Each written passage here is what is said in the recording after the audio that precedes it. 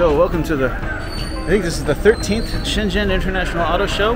It's during the National Day holiday, so there are a lot of people here. So it's gonna be a busy one. I was here for the, uh, the Bay Area Auto Show a few months ago. and I'm interested to see some of the newer models that they have on display. So come on, let's go take a look. Okay, so the hard part's done. That's getting through the health checks and security checks, like three different health codes. And then we go up the stairs and then we give them the ticket to get into the shows. And considering all the security checks and the ticket checks, security again, patting you down to get into here. But it's amazing with so many people here, how efficient it all really is. They do a good job. This here, this is the new Toyota Sienna, brand new.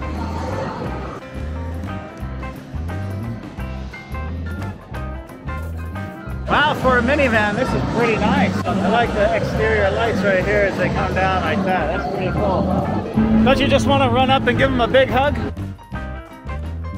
And of course, Pokemon. Of course, it's very loud and there are a lot of people here. And we're here early in the day. It's just going to get louder and louder as the day goes on.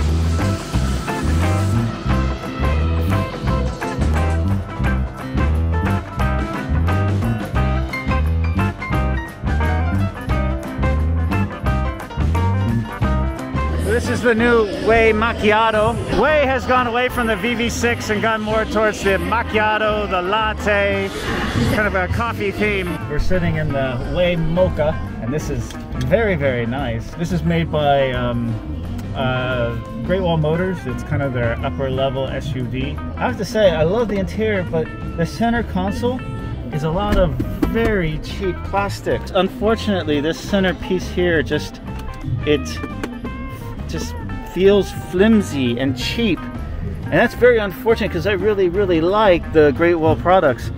The rest of it is very nice with leather and soft touch everywhere. But this one piece right here in the center just feels super cheap. Although I do like, I've seen this in a couple of other vehicles, this kind of crystal shifter. That's pretty cool. The previous generation of Wei SUVs I liked better. This newer generation I know it's supposed to be more modern, but I just feel like it, it's not as unique, the same as all the other ones on the market. Way over there is way too loud. I can't hear myself think. All right, this is a good one. So loud. This is the new GAC GS8, brand new. The light, the lights are vertical now. They were horizontal in the previous generation. Now they're vertical. It's a lot more squared off and boxed off. All right. I love the shifter. This is really nice. Very nicely done. See, this is much nicer. Yeah, much, much nicer. Feels so much better than the Wei products across the way. It's just much better quality. GAC has been doing a great job lately.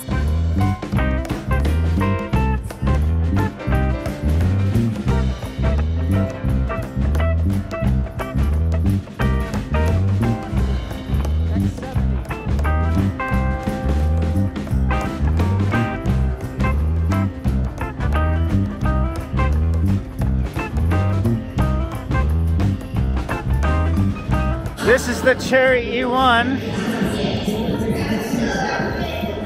in pink. You know, these small cars, we're always wondering if we can get in the back of it. Let's see. I'm in the back seat of this.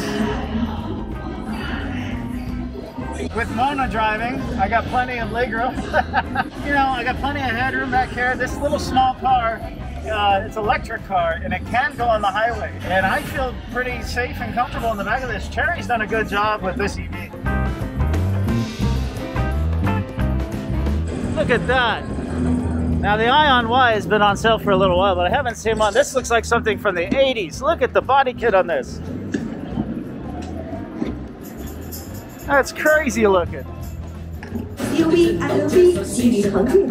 This one here, the back seats will fold down and it has theater mode. You can watch a movie inside. Well, Meister,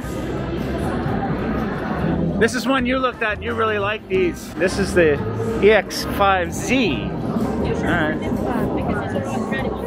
The really cool thing about these doors, you press the button here, and that pops out the handle. So that's very interesting. All right, all right. I love the splash of orange inside. Yeah. Looks a little funny. Like like childish, you know. A lot of piano piano black plastic.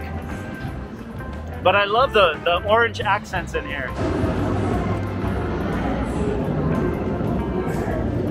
Kia. Yeah. A little bland. I mean, as far as the designs go, I mean, these graphics it's very, very millennial. They're well-made cars, the design just seems a little boring to me. When you compare it to some of the other offerings. This is the all-new K5. What a great looking car. That's big.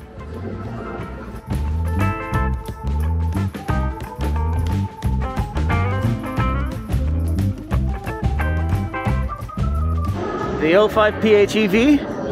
All right. It's a uh, SUV hatchback. Ah, it's kind of a good looking car, isn't it? Right.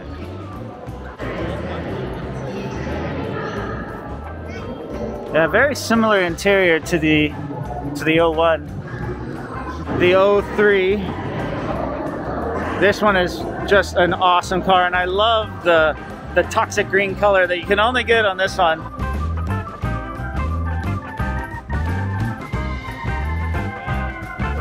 Unfortunately, they don't have the 09 here. I was looking forward to checking that one out, but the 09 is not here. Chang'an, they're very popular for the Uni T and the Uni K SUVs now.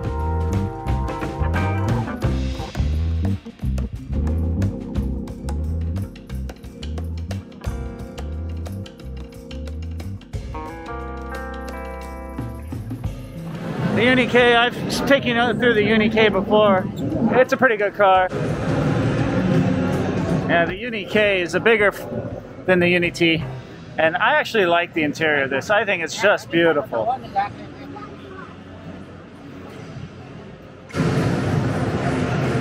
Too many hip-hop dancers.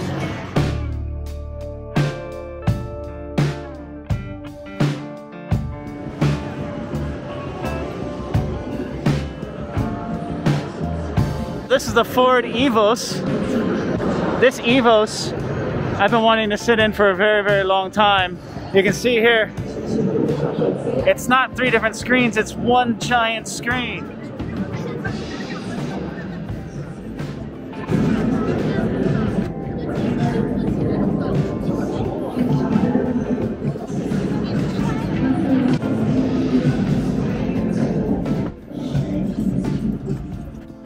All right. Guys, this is really nice. The Ford Evos is pretty freaking awesome. Everything feels really, really nice. The touch, the dash has this funny kind of rubbery uh, feeling to it. Look at that. So it's a video, and if I want to move it to, you know, 30 seconds, 20 seconds into the video, then to 55 seconds into the video, very cool. Wireless charging there. This is really nice. I'm very super impressed with this one. Ford did a great job with this car. It's got some Fordisms occasionally, some like some cheap plastics here and there where you wouldn't expect it, but the overall look in here is pretty awesome.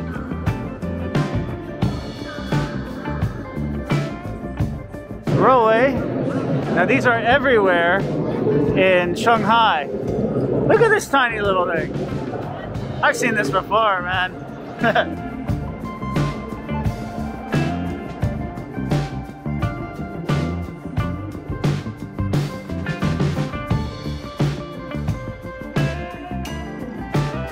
Look at this one. This is new. This is something else. It's like a a wagon. It's a crown crown harrier.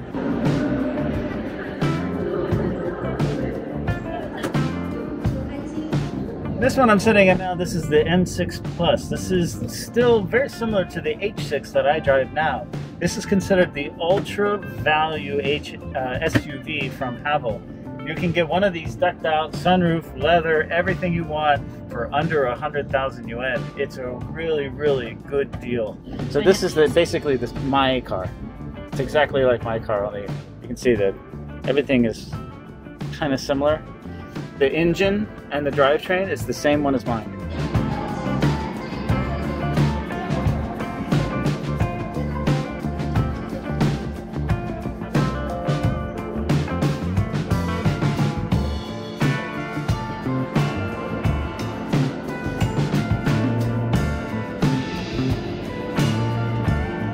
This is the new H6.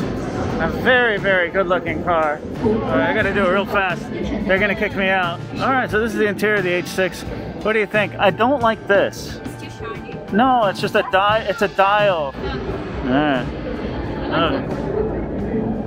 And this is the older H6 that they're still selling, and I really like that one.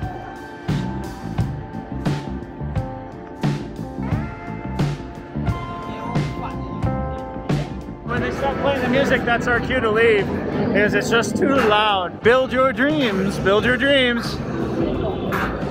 It's the new DMI. Oh, ah, this one looks. Oh, careful.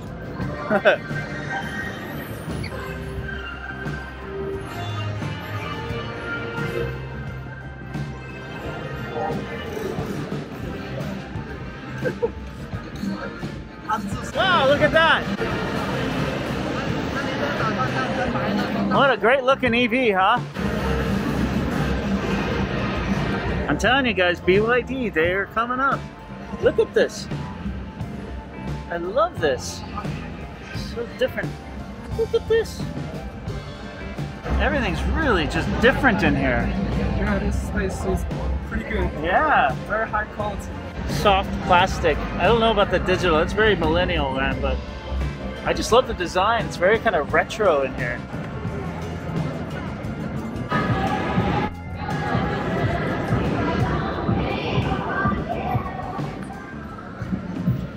do you think? 十一万五千，希希望十一万五千。五天，希望五天。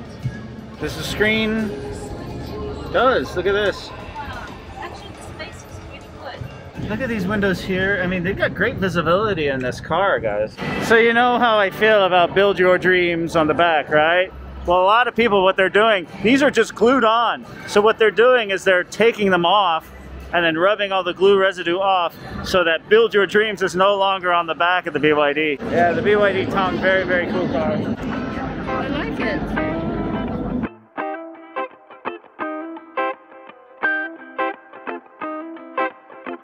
This is a Venucia. I've seen this. This is a new thing I'm seeing in all the Venucias. So this is a Dongfeng vehicle.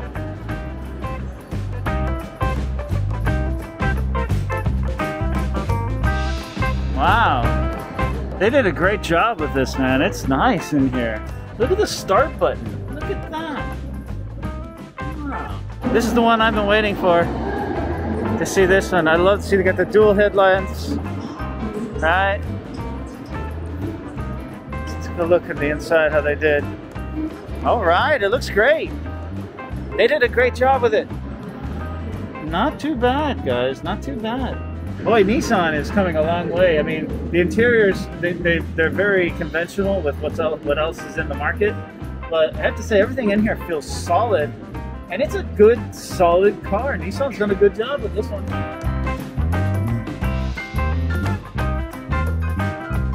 Wow.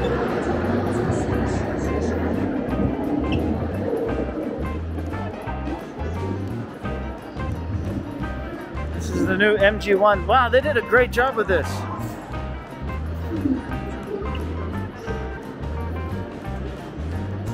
I like it. I like the yellow.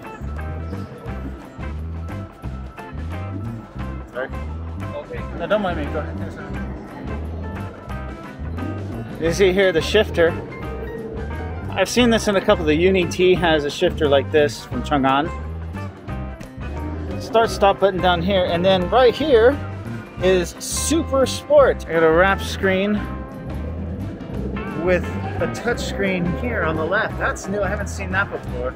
So I've said this in the past about MG that I've never really liked the look of them, but um, they're starting to grow on me, especially the brand new ones that they're coming out with are really, really cool. This is a great example of that.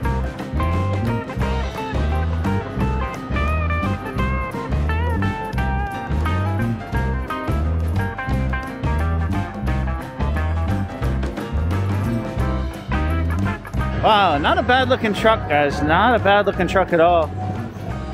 Yeah, I've, I've in this before. It is a little on the cheap side, but a good looking truck. This is the old one. This one, look at the price. For 74800 you can get the older Dongfeng pickup truck. Base model, of course, with a stick shift.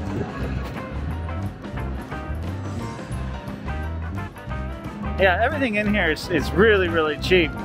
But for 74,000 yuan, you can get a brand new vehicle. if you want it.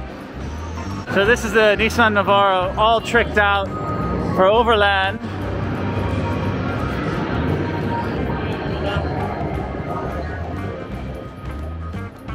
What do you think? Pretty sexy, huh? Let's take a look at the interior.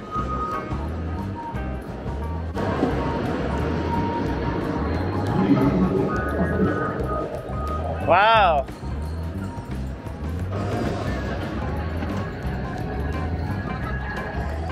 Very interesting interior. But I do like the tent on top. That's pretty cool.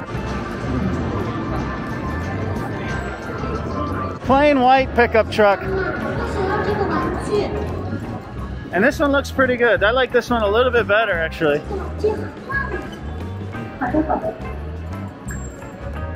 Yeah, see this one doesn't have the leather dash.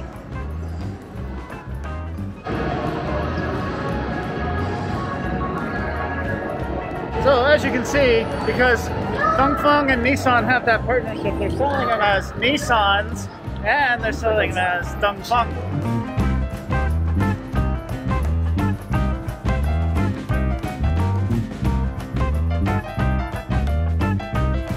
Cadillac XT6. Wow. This is very, very nice.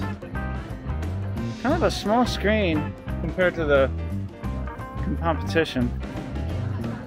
Fit for a king. Yeah. Uh, usually it's behind doors. This is the first time I'm going to be able to sit in this thing. Check this out.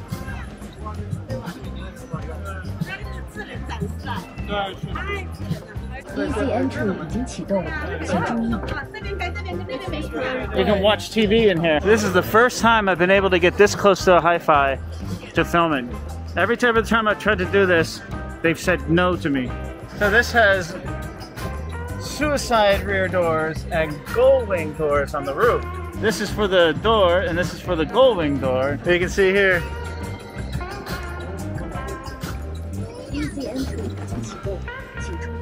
I'm getting a nice massage. But of course, the, the best thing about this is this screen here, this giant entertainment screen for the passenger. I mean, this is like freaking awesome. And the visibility out the front is amazing. This is just one of the sexiest cars in the Chinese market right now. And I'm so happy I actually got a chance to sit in it. It's the first time they let me do that. The HiPhi X. I've actually seen this on the road in Zhongshan. There's someone in Zhongshan that owns one of these. So this version of it is for executives.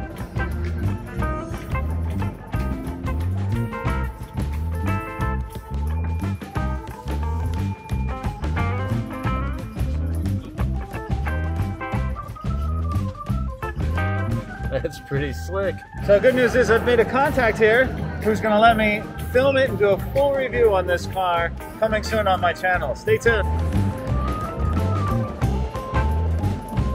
This is the Seres SF5, also known as the Huawei car. They sell these in the actual Huawei stores. They're not built by Huawei, although many of the components inside are actually Huawei. This is geometry. I did a uh, one on the Pro, and then I'm going to be doing one on the Geometry C very soon. Of course, Porsche, selling the Taycan, which is a bitchin' car, don't get me wrong. But for the money, I'll take the G, the uh, Zeekr 001 over that. The Xiaopeng P5. We know the G3. I've been wanting to sit in the in the P5 in the P5. Sitting in here, it feels really nice. Feels really high quality, and I know this is much cheaper uh, than expected. This is the one without all the LiDAR sensors on it. This is just a standard P5. You can see here. That's the LiDAR technology there. This is Dongfeng. And this one has a really cool dash. You press a button, the whole dash goes up. Press another button, the whole dash comes down. Yeah. Very fast.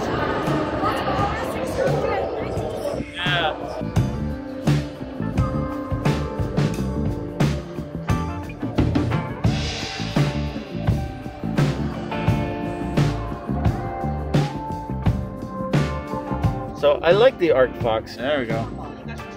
Still very, very nice setup. This is Pi, but in Europe, this is sold as an MG. MG, of course, is built by Shanghai uh, Automotive, and they'll have the MG logo on it, on the Marvel. I'm gonna get to test drive and do a full video on the MG Marvel R very, very soon. Stay tuned to my channel for that. You guys know I love Li Xiang. I've done videos and talked about Li Xiang many times, and I cannot wait for the first quarter of next year when their new model comes out. Just a beautiful, beautiful car. Elegant, versatile. It's my favorite Chinese car, is the Li Xiang. So of course, Leapmotor, we know has the small little uh, electric coupe sports car. This is their SUV, the brand new one, and this is the first time I'm gonna get a chance to look inside. It's always been locked every time I try to get inside. And it looks great. Oh, I like it. I like it a lot. Yeah. This is their first compact SUV crossover, all electric, and it's about 150, 160,000 yuan it starts at. And I gotta say, this is this is really nice, guys. This is really nice. It's just the materials in here feel pretty good. Yeah. Yeah, feels like a solid car.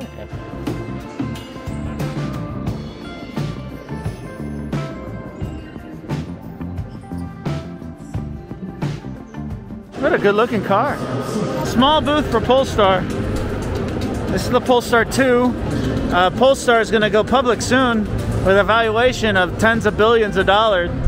I love the interiors of these cars, man. They're just gorgeous and you feel like a you're in a cockpit. You really do. When you sit in this car, you want to go fast.